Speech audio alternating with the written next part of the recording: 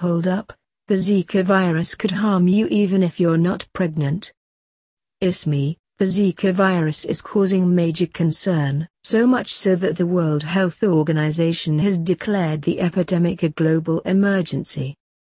At first, experts thought the virus only posed a serious threat to pregnant women. The majority of healthy adults who come down with Zika simply experience flu-like symptoms for a few days, if they show symptoms at all, since it can cause birth defects. Then, the news broke that the virus, which was previously only known to spread through mosquitoes, could actually be transmitted via sex. Cue a major push for condom use. And now, according to a new study, health officials have a whole new reason to be concerned. Zika might be linked to a serious neurological disorder that causes paralysis. Crap. Sign up for Women's Health's new newsletter, So This Happened, to get the day's trending stories and health studies.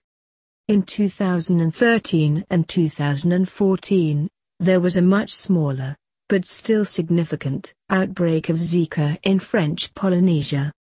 At the same time, there was a spike in a disease called Guillain-Barré syndrome, which causes the body's immune system to attack the nervous system, that was big enough to lead health experts to think that the two might be linked. In light of the recent outbreak, researchers analyzed the relationship, they looked at blood samples collected from 42 individuals who had been affected by Guillain-Barré in French Polynesia and they found that almost all of them showed signs of having a previous Zika infection, making the evidence that the two health issues are linked pretty compelling.